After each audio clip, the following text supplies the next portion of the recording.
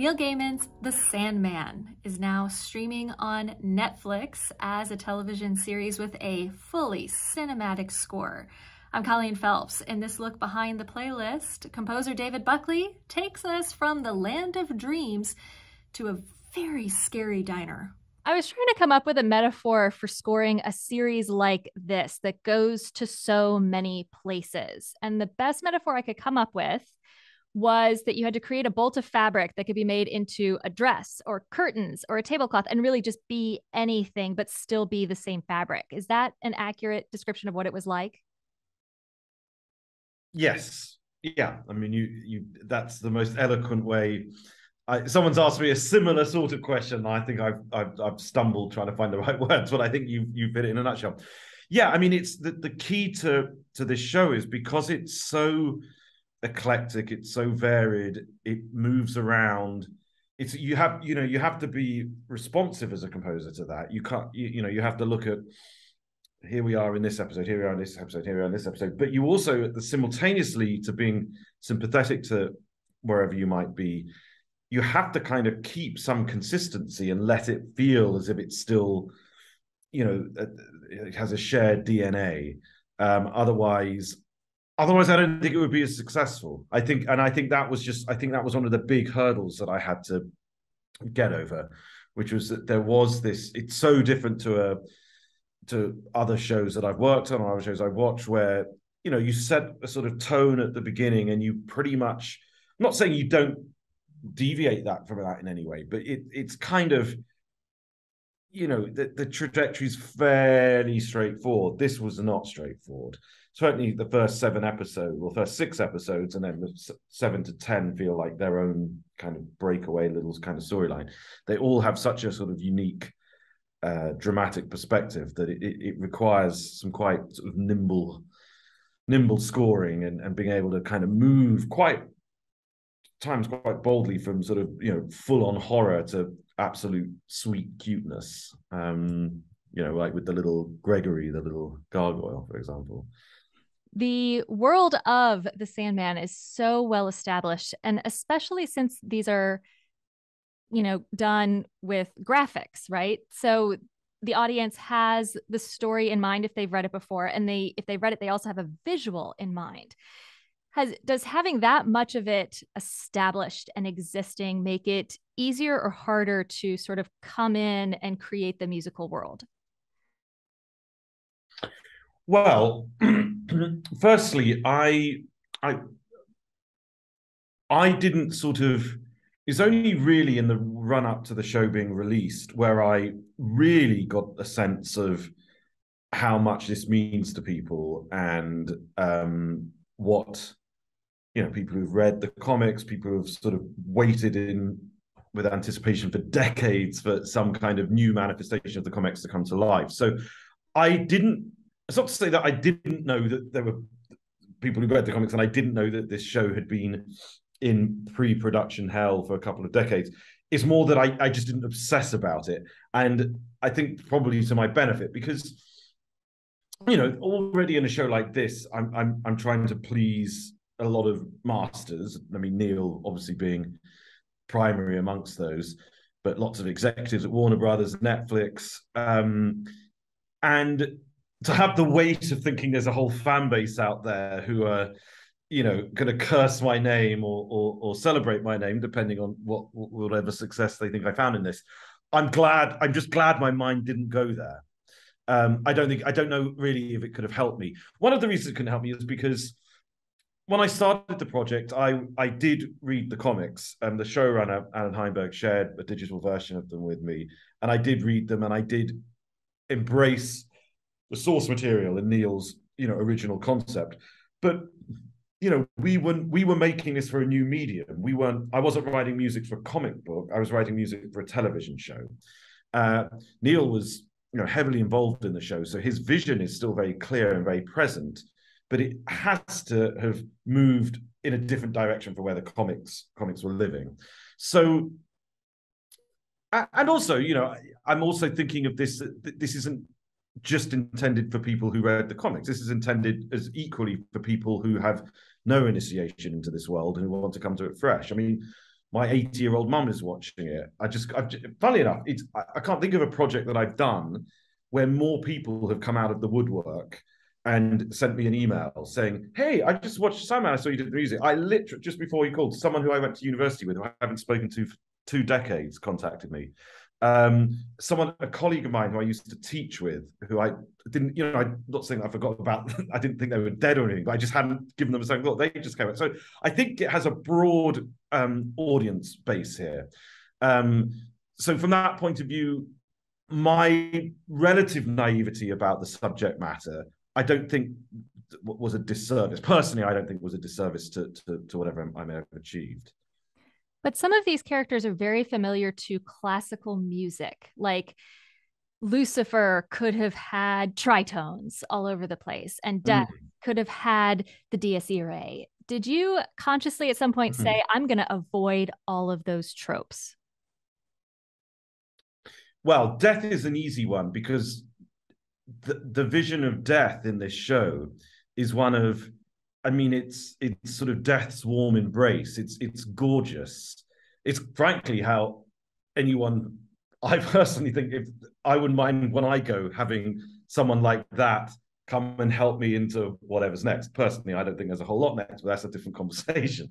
Um, but I love the fact that we were treating death as this thing of beauty, as you know and that isn't that that isn't a stock i even think that maybe it was an early question of mine you know do we want to bring any sense of kind of slight more angst or or or um you know pain or anguish to the notion of death? And it was no no no no no. This is about beauty. This is about absolute rapture and I thought, wow, okay, I love this show. I love this. I love these sentiments. I love this. And likewise with with with um Lucifer Morningstar. I mean, she's you know, for a start, it's a female personification of of the devil, which is normally a male territory, not normally a male version of that figure exists. And she looks like something out of a pre-Raphaelite painting.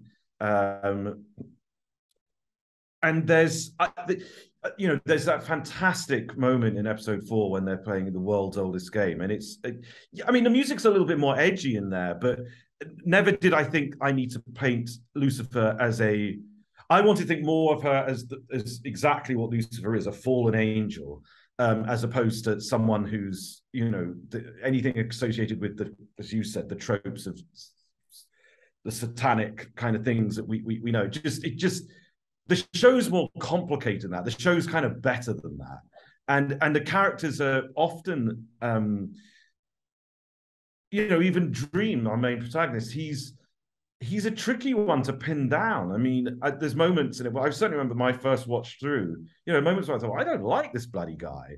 Um, you know, he's he's kind of mean and nasty to people.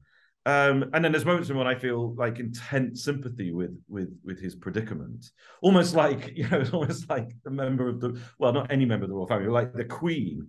Like you can't, the Queen of England, you sort of feel, you know, she's got all this privilege and she's got like billions, billions, whatever of pounds. But but what a job! I mean, what a weight to carry on her shoulders. And I sort of think Dreams like the same. You know, it's got this her, this you know being in you know everyone's thoughts and nightmares and dreams being part of his existence. So um, I like the fact that the characters are complex and have this depth. Uh, the Corinthian is complex and has, de- you know, he's desperate to be human and know what it's like to be human. All the characters, I think, feel fresh in the show. Um, that's certainly how they they popped out of the, the, the screen to me. While those lines are blurred and all those characters are complex, actors often say it's more fun to play a villain than a hero. And there are some characters doing really good things and some characters doing really bad things in the show. Which is more fun to compose for?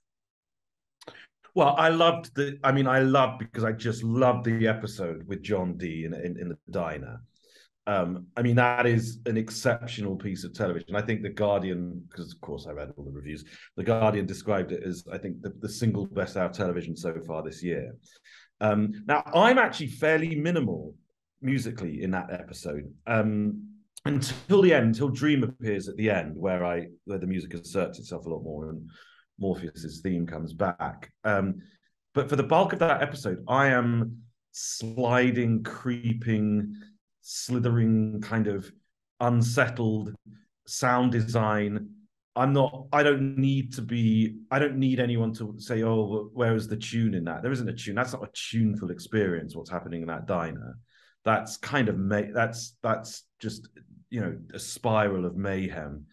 Um, and I, and I, I sort of enjoyed it for, for, for being that compared, you know, where we go next. Oh, well, episode six next. I'm, you know, that's I'm big melodic there. That's death, and that's all the the stuff where we go back in time with our, you know, to London pubs. That's a lot more kind of melodic driven. Five was was was an exercise in in in just call it music, call it sound design, call it whatever you want, call it something that you don't necessarily hear but you feel.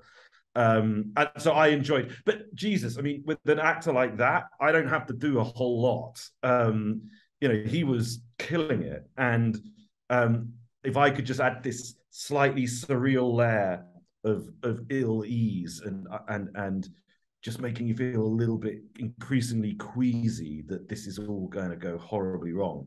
So I, I, I mean, yes, I enjoyed that, but I keep coming back to that death because I do. I mean, that is probably one of my favorite episodes of the the, the death stuff. But I also, I mean, but then again, the cuteness of well, I know Cain and Abel are sort of they're not cute at times, but their their passion for for for, for Gregory.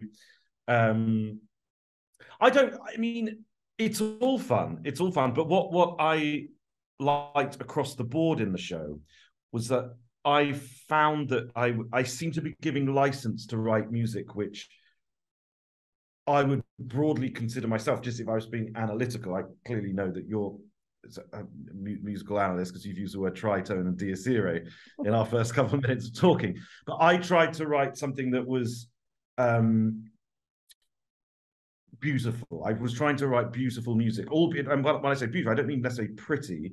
And the beauty can have decay in it, and and sorrow and melancholy. But I was just trying to write things beautiful and have and help people feel things um, without telling you exactly what to feel. So, speaking of the themes for the individual characters, let's talk a little bit about Morpheus. And I almost, you said I am fairly analytical with music. I want to know if I was right. What are the instruments that really portray his theme? Well, there's two components to to dream. There's the dreaming, mm-hmm. and that sound is often associated with a Celeste. So the very first thing you hear in the show, and actually I think it's the very first thing you hear on the soundtrack album, is a Celeste, but it's I recorded it and then I did something that Celeste cannot do, which is pitch bends, very it wavers. And I mean it's physically impossible for us. I mean, even if you try to like you could do it with a timpani, you can detune a timpani and you can sort of boing. But I I don't I don't think it would be possible to do that at all with a, with a live Celeste, unless I'm. You, well, I you thought, may. I thought if it was acoustic, it would have been a bell being lowered into water. Ah, right. Okay. But I, yes. it was that it was so smoothly done. I, yeah, that's. Yeah, I mean, this was when I this in many ways those two. So it's you know it moves from C minor to A major back to C minor, and I was thinking to myself well, for a start, I quite like that. I like that movement. I just, I've always been quite a fan of, of sort of third related harmonies. I mean, we're now going down music analysis path. So if, if you're, um, apologies to anyone who doesn't want to do this, but, um, but then I had to pose the, then I had to ask myself the question, um, where, where am I in the sort of scale of being traditional, being un, you know, being non-traditional, what do any of these words really mean in any case? And you know, I think there were quite a lot of executives who were sort of starting to talk about how far we should be pushing the orchestra, how far we should be pushing electronic elements. I mean, standard beginning of television show kind of committee. Everyone's everyone's got something to say. Some of the things being said are more useful to action than other things, but obviously, I'm I'm I'm the new kid here, so I can't, I you know, I can't throw my weight around too much. But there, no, there, broadly speaking, there were some interesting and thought provoking comments, and and I thought, well, I wanted to use, I liked, I like the Celeste. It's not an instrument I've used a hell of a lot, um, but I want to try and do something a bit odd with it. Something but not, I didn't want to put it through a distortion unit. I mean, I often read about composers saying, you know, we record an orchestra and we put it through like this massive, like electric guitar cabinet. And I'm thinking, well, that just sounds like an electric guitar, actually. I've lost all sense of character of what, what your instrument is. Frankly, I didn't even know there was a bloody orchestra playing after what you've done to it. I wanted to keep the human, real aspect of it but I wanted to have the surreal aspect happening concurrently. And that's really what I was striving for throughout the score was keeping the the, the traditional, the orchestra, the thing, those things that are sort of timeless, no pun intended, and or endless, um, and and then things that warp and spin and just kind of subtly kind of play on uh, on on almost at the back of your mind as opposed to hitting you in in, in the face so that those bells are sort of that. It's the dreaming, this slightly odd, odd place. And then Morpheus's theme, well, it lives in multiple instruments, but probably, if I was saying its purest form, and probably where we hear it most in episode one, it's actually a combination of two instruments. There's viola da gamba and then an analog synth doubling it up. Um, and I liked the fact that the two instruments actually had to me sounded kind there was a similarity between the two um, and i liked the combo and i also liked it sort of philosophically there's sort of ancient sounding thing on the one hand and then this more modern sounding thing on the other hand and then at any given moment i could kind of ride one element up higher than the other and yeah i just i i, I like that combination of old and new in fact i mean in many ways that's that's a big part of i'd say my writing not just in the Sandman, but all over the place. I'm I'm sort of fascinated with ancient music. It's a big series with a lot of settings, and then each episode is so different in its setting, like you said, until you get to about seven, and then they kind of come together. How many hours of music would you say you produced for it? Uh, well, when I cut the soundtrack album, I put everything in a timeline, and then I started going down the the killing the babies process as you say well i don't need that one. I don't need that one. I don't need that one. Um i'd I, well now i've forgotten the number but i'm sure it was north of eight hours i think it was around eight and a half hours. Because we were you know it's a pretty densely scored show. Um the music tends to stick around quite a bit. And then how does that compare? I know a film you would like have less duration because a film is shorter but what about a video game? Because you've done you did the Batman game I've done a couple of video games. Um, boy, I haven't done video game for a long time. I mean, I did the Batman Arkham Knight game, and I mean, look, the answer is it's a lot less um, for a video game. I mean, oh, wow. on that on that the Arkham Knight, it was two it was two of us that Nick Arundel, who's the head of audio, and myself. I think we did about ninety minutes each. Um, maybe not even that much, eighty minutes each. So yeah, significantly less. Um, and obviously, a movie is even less. I mean, I would say if, if you're scoring a two hour movie, if you're unlucky, you might have to write 90 minutes of score. Um, but we live in a, the aesthetics now for, for scoring seem to be a tendency, I think, to slightly overscore things and to keep a musical presence sometimes where it doesn't need to be there. It, of course, it depends on the genre, and I'd say actually this is a, the Sandman is a genre where it's probably more applicable to keep some kind of musical presence because we are in such unusual territory and visual effects and music are two components that can help bring those things to life. But I think sometimes I'm watching drama which is desperately trying to be realistic. I, am not sorry, I'm not talking about now. I'm slightly going off on a riff here. But you watch something which is trying to be realistic and they're actually making some clumsy mistakes in my mind by by letting the music play just just doing too much. You kind of think shut up for a moment. These actors are okay. Um, the going back to 24 7 the diner episode um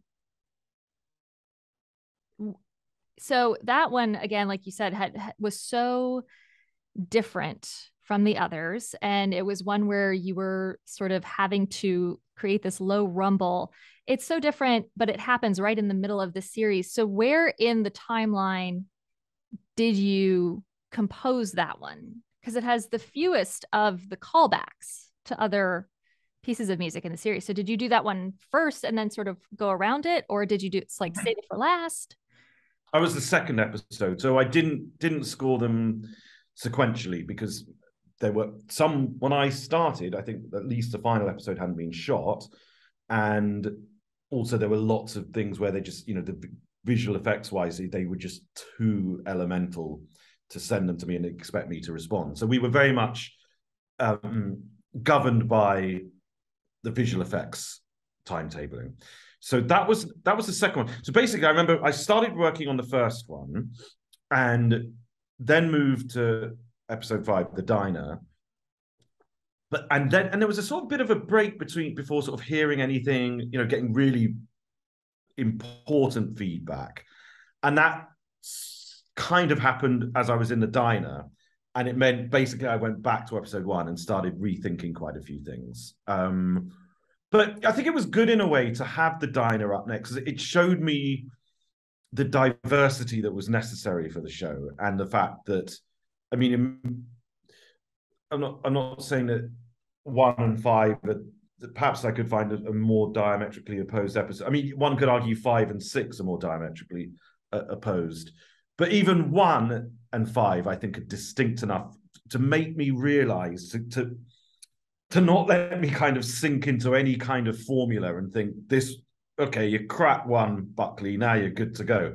By going on to five it's like this is a new beast that you need to you need to conquer. Um and you really yeah because there is there is no callback well there's a couple i said there's no there's no sort of theme there isn't really but there is a little motif for john and the ruby and then when i moved on to episode two and episode three, in which I think he, him and his mother are both in. That there is a little. I mean, it's it's just a sound, a little one-off sound. It's a sort of reversed harp. Um, not not not what I would call it. It's clearly not a melodic theme. Um, yeah, so five is a kind of probably the most standalone-ish in terms of connective tissue with elsewhere. So therefore, it was sort of critical at the end of the episode when Dream because he's there for the first 15 seconds, but it, it, there's it's just virtually no time to do anything. And then I think there's a piece of Mozart, I think, or Beethoven, I can't remember when we go into the diner. Um, so there's no time really at the front to establish too much. It when he comes in at the end and has his exchange with John, that's where you know I was quite I, I, don't know how the mix ended up in the end, but certainly the, the that you know had a full on massive brass section as he was coming in, and it was it, I scored that big. Is that the scariest thing you've ever scored? Because I think it might be the creepiest thing I've watched all year. um, well, that episode, um, it's certainly it was certainly like an, an eye opening episode. I was thinking, geez, how far are they going to go with this? How far are they going to go? Um, it probably it has to be on the list. Yeah, I mean, I've done one. I've done a couple of horror movies, but I think this probably wouldn't takes the prize. Yeah, yeah. Of all of the characters, I think, especially if we think about episode six, um, but of all the characters within the show, um, which one would you say you enjoyed creating the motif for the most? Feel like I'm going to be a broken record here, but I the the dream thing just just works for me on on on so many levels, and I've had really lovely emails about it as well, which I'm that's kind of sort of slightly forcing my hand as well. Um, and then, which character would you most like to meet, since you spent so much time with well, them to make their theme? Well, not death, not just yet. I'll give that another couple of decades, I hope. Um, I, that's a really good question. Um, you know, I think desire is quite cool. wow, not, not, that's great. well, I control I control the musical heartbeat with that with that character, so I can slow it down and turn it up. So there's a big metaphor there somewhere. Wow. Um, I read that your musical start was as a choir boy. Can you talk a little bit about how that experience um, still shapes the musician you are right now? Well, I think it's given me a a, a res- resilience to be able to cope with the schedules of film and television scoring, which I you know, wouldn't be the first person to say, or the last, that it's it's a pretty brutal business and your time isn't your own. I mean, so as a as a child, I was I sang in this cathedral choir and we would we would sing, you know, Christmas Day, we'd be singing Christmas the day after Christmas Day, we'd be singing. So the notion of going home for Christmas wasn't a thing for me for for five years of my childhood which I, I, have to say I didn't mind. It's not like I was uh, traumatized by it. I I loved it. It was it was effectively like being in a band, a very uncool band, I might add, um, and you know going on tour, um, the camaraderie of, of, of your friends, um, recording television stuff. It was I mean it felt very exciting, um, and it also musically I you know learned because you sing every single day, you're just ingesting a fairly specific type of music. I mean, English choral music. Well, not just English, actually, music from the continent as well. And and I think over the years, possibly slightly more eclectic music as well. But it also presented me with uh, um, my first sort of peek into the world of cinematic music, which was that we are the, the, the choir was enlisted to sing in a, the soundtrack to The Last Temptation of Christ. And it was a real moment from where I felt something. I felt, wow, this is this is just different. This is unique. This is music working with another art form. And I, I do think that that was probably where it all began for me about age 11, having that experience. I, I think I knew that I had to somehow pursue this.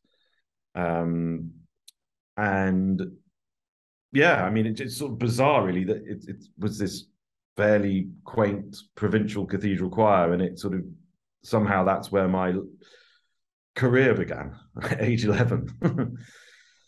the Sandman, uh, as much ground as the season covers, it only covered a tiny fraction of what is in the comic books. So I'm sure it's going to have another season. It's such a big hit. Musically, were you asked to lay any groundwork for anything coming? Um, well, first of all, let's hope that there is a second season because nothing's a foregone conclusion these days. And, you know, this show is, I imagine, tremendously expensive to make. Um, but, you know, I put a, just over a year of my life in it, and I, I was one of the last people to get involved. I mean, think of, you know, Neil and David Goyer and, and Alan, you know, those. I mean, it, I just really hope that we can we can do more. And, and, clearly, the feedback is is good. I mean, the critics like it, and people do seem to be like. There is a good buzz, so it, you know, it would be nice to to keep moving forward. But no, I mean, I, I've and I've I've never really had that conversation on anything I've done, which where you sense that there could be more to come. There's almost like, just thank Christ we got this far, sort of thing see deep breath and then i i will just i will actually the only thing i'm not no um, i was just exchanging an email with alan about something or other and he did mention something that you know if we have a season two this is something that we'll be talking about. It was it was it was a conversation pertaining to something completely different and it was just an aside. So clearly there are i mean i don't know i know that the writers are poised and ready to go um, I don't know what you know we'll be tapping into next season, assuming there is not assuming I'm asked back. Um, so I, I, but you know, I, I, I wouldn't. I'd love to. I got in early on the first season, but it, it but time still ran out. I don't really understand it. I mean, it's like I looked at the, the schedule. I thought, wow, you know, compared to like the good fight, which I'm scoring at the moment, I've got, got to do one a week for the next 10 week, weeks, which is absolute nightmare. This was, this was, this seemed quite luxurious, the schedule. And then, then, and then all of a sudden I thought, where's it all gone? Where's the time gone? Well, I now got to like start moving at a much, much more rapid pace. So I'd love if, if there is, you know, if it all plays out nicely and there's a second season I'm on it, I'd love to start to understand what, what the components are for, for the next season and where we're going. And, um, what significant new characters there will be and all, and all the rest of it. Um, because I'm sure I, am I'm, I'm sure it's going to be just as rich and textured and nuanced as as the first season. Um, so even if it's just thoughts percolating around in my head, I'd, I'd rather they were doing, you know, starting to kind of take some control of my whatever's left of the old grey matter and um, and and and see see what see what might come out. The Sandman is streaming on Netflix now, and you can hear that music wherever you stream music, and you'll hear some of it on 90.5 WUOL Classical Louisville.